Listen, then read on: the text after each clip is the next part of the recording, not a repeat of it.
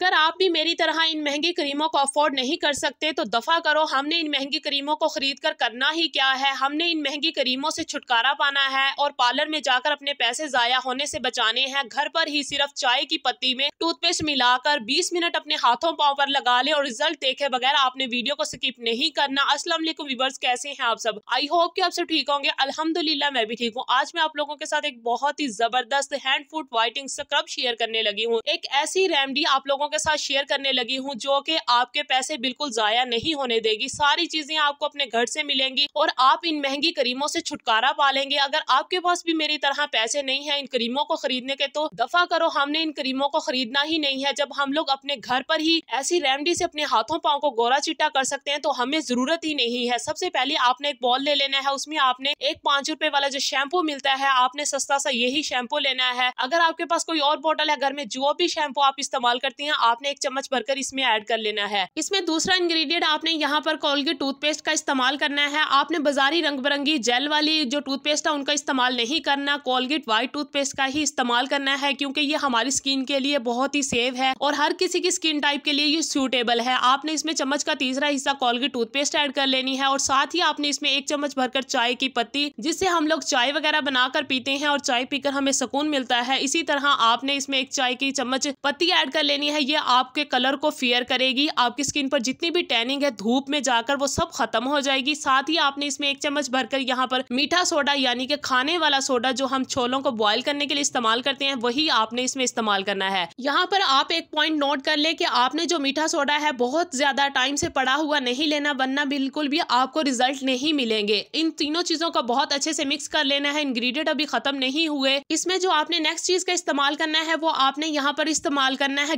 Glycerine का ये आपके हाथों को नरमो मुलायम और सॉफ्ट बनाने के लिए बहुत ही अहम है। अगर आपके हाथों पाँव की स्किन बहुत ज़्यादा खुरदरी है या काम की वजह से आपके हाथों पाँव की स्किन जो है वो फट जाती है तो आपने ग्लेसरीन का इस्तेमाल ज़रूर करना है। ये आपके हाथों पाँव को बहुत ही नरमो मुलायम और सॉफ्ट बनाएगी। इसमें एक चम्मच भरकर आपने ग्लेसरीन का इस्तेमाल करना है। जो मेरे भाई बाहर धूप में काम करते हैं, उनके हाथ जो है वो फट जाते हैं काम करने की वजह से, धूप की वजह से तो वो इस रेमडी को ज़रूर इस्तेमाल करें। इनशाला उनको बहुत ज़बरदस्त रिज़ल्ट मिलेंगे। और साथ ही इसमें आपने हाफ़ लेमन इस्तेमाल करना है। इसमें विटामिन सी भरपूर मिकदार में पाया जाता है, जो कि आपके हाथों पाँव से जितनी भी गंदगी है टैनिंग है, उसे निकाल के फेंक देगा। अगर आपके हाथों पाँव पर बहुत ज़्यादा दाग धब्बे हैं तो उसे लाइट करेगा। आपकी स्किन जो है वो ब्लैक है, उसे फेयर करेगा। आपके कलर को फेयर करने में बहुत ही अहम किरदार अदा करता है। इसमें आपने हाफ़ लेमन जो है वो अच्छे से निचोड़ लेना है, उसका जूस इन सब चीज़ों को बहुत अच्छे से मिक्स कर लेना है। मिक्स करने के बाद हमारी ये जो रेमडी है, ये तैयार हो गई है। जब इसकी